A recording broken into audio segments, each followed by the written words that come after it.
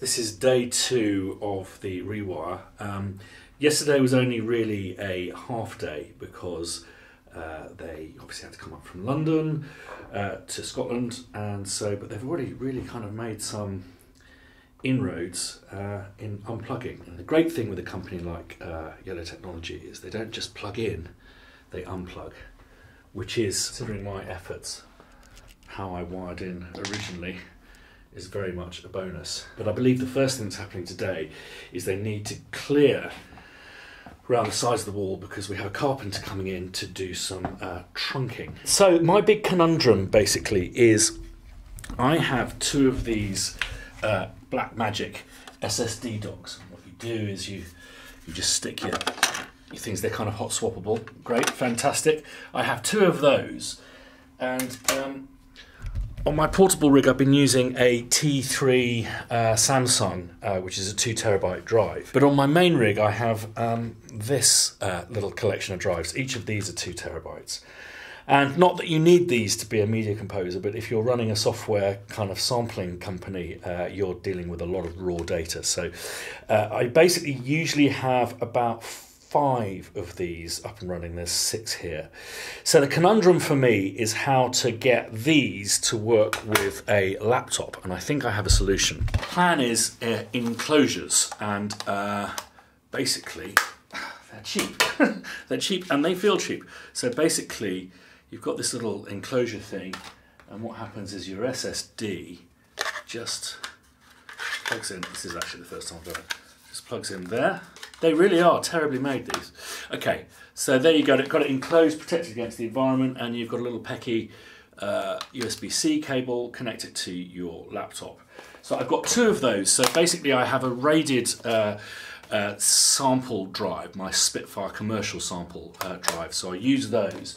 And then basically what I've also bought is some, just some cables. So I can basically carry these around with me in kind of stored safely and then if I need to kind of grab and grab something to nick that's on another drive, I can just quickly plug these in, transfer it to one of my rated drives, um, and off I go.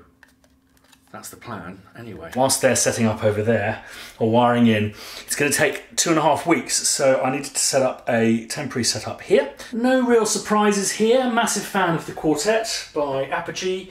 Um, I have such a long-lasting uh, love affair with the Dynaudios. Whether it be a BM5A or a 15A or an M2, um, I can walk into any room and know how the room is responding and how to adjust my uh, mixes accordingly. So when I've run these in here, they're incredibly bass heavy, so I have to make sure that I'm really generous with the bass and stuff.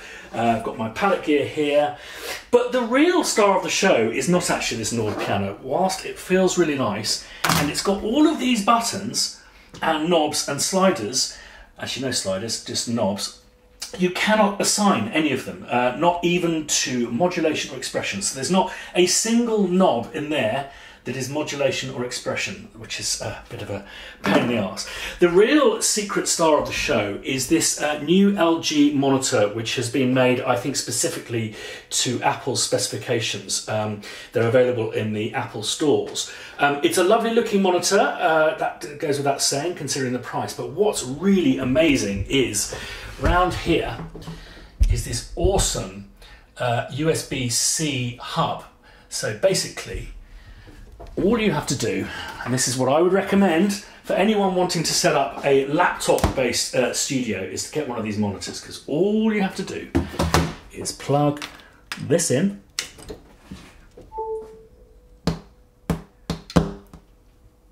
Everything powers up, including the laptop. So literally, this is on charge, uh, it's got power, and you know you can dangle uh, drives off the back and uh, I've got the interface running, the palette gear, everything. And I am a new convert to the uh, wireless mouse and keyboards. Uh, this is yet to require power and I did an entire series, a three-part series, which was quite work intensive uh, on a single charge. So I am a convert. So that's my temporary rig uh, for the next two or three weeks. So it's going to run all the way around. There's going to be two mouse holes at the front so that things will go in and out to the various racks on your workstation. Awesome. Little hole for your connector panel over there. And then holes on the ends for your surround panel there. And look at all this organisation. look at it. That's the one. You want to see the back? Yes, please. Each one of your racks has two of these multi-pin connectors associated with it. This will just flap down, and you'll be able to you'll be able to edit your jack field like that. Whose handiwork is that? How long has it taken you? Um, quite a while. It was fairly complicated, but I don't. If you have a look at this here, correlates to the cables and the EDAC panel. Is it what's called normalised? Is that? Yeah. Yes, So, the jack fields are. So what, what, what does normalised mean? so what you're going to have is uh, so you've got your output signals a lot of the time on a top row, Yeah. and then underneath them you've got inputs to other pieces of equipment. Right. So, for example, here, this blue block here will be all your synths, which Okay. will all be in a bank over there, and under here Is where they uh, go. Is, is where they're going. Uh, so, to have them in this case, they'll be half normaled. So, basically, this hole here is joined behind here to that hole there. Yeah. And you went so it's it's the equivalent of plugging in a cable there and putting it there. So Okay. automatically they'll route down into the inputs down there. When they're half normaled, you can plug in a cable to the synth one there and feed it somewhere else, and that will still continue going down there. Ah. So it'll only break the connection when you plug into the bottom row.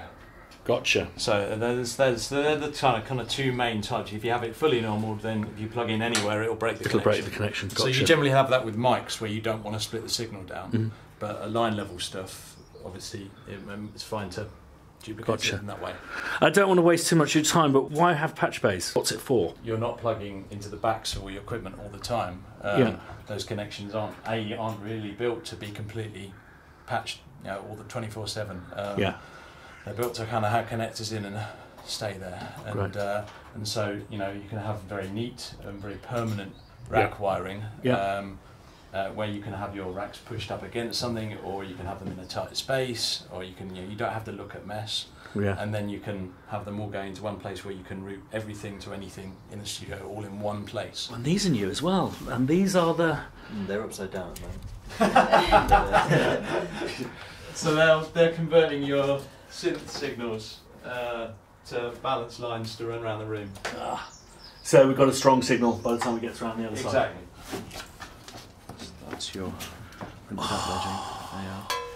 They are. Quality outfit, yellow technology.